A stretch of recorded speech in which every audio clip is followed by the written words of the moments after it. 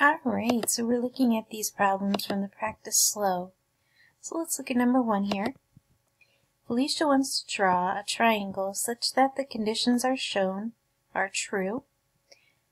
The area of the triangle is not 1 square units, and the tangent of P is 0.5.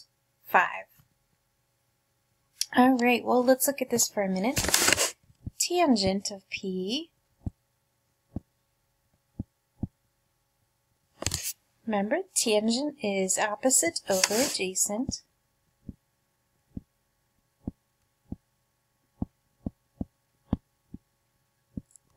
And we want it to be equal to 0.5.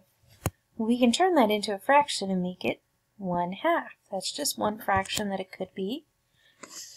We can also find an equivalent fraction. It could be equal to 2 fourths, 3 sixths, any fraction, any equivalent fraction that is equal to 1 half. We also want the area to not equal 1 square units. So let's pop over here to GeoGebra.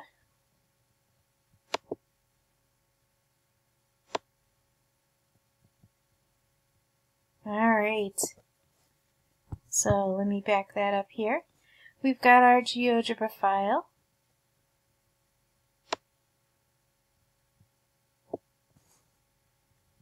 Alright, so we want a triangle,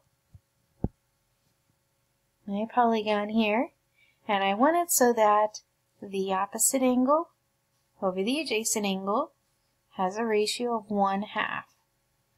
So if I start here at 0, 0, and I go out to, let's see, the opposite side, over adjacent side. Do it again.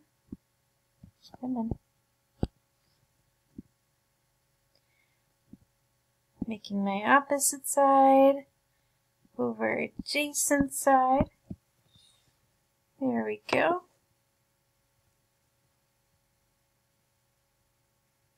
Now you can see my opposite side. If I made this, let me rename this. I'm going to rename this not to point C, I'm going to rename it to point P. P. Come on.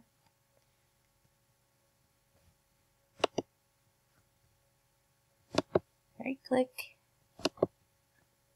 Make this a little bigger.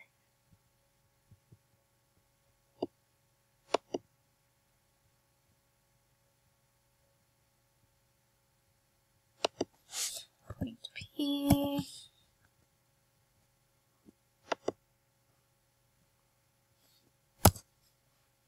Q.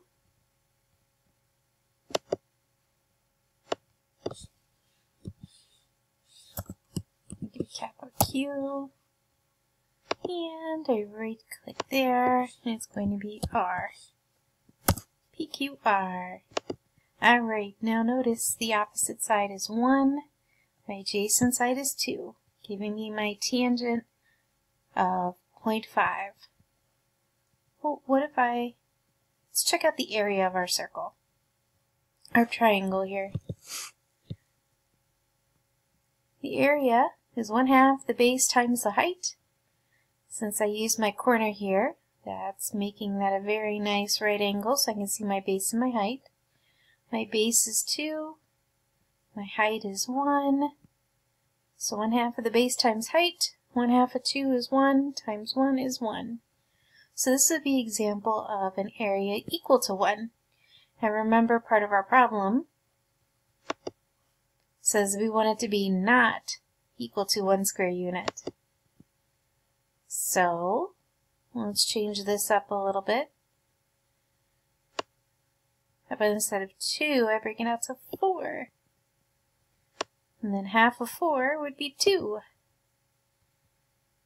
And again, let's check. My opposite, 2, adjacent, 4, still giving me my tangent of 1 half. And now the area of my triangle, 1 half base times height. 1 half of 4 is 2 times my height is 2, just 4 square units. So now I have a triangle that fits both of those requirements. And again, notice it's labeled.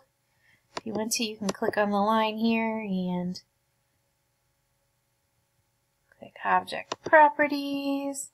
You can show the label to be the value, so it's the actual length of the sides.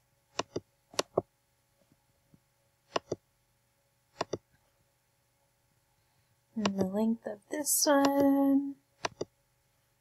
There you go, the length of the sides, 2 and 4. So you can see exactly how that is.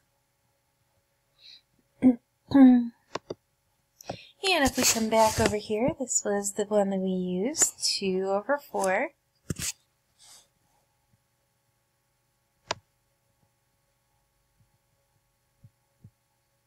Alright, label our side links and label the length, which we did when we were right-clicking there in GeoGebra.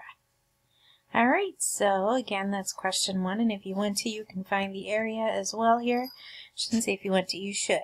Area of the triangle, 1 half, base times height.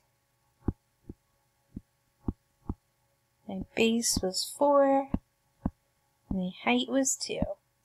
So 1 half of 4 times 2 That'd be 2 times 2, which is equal to 4 square units. Alright,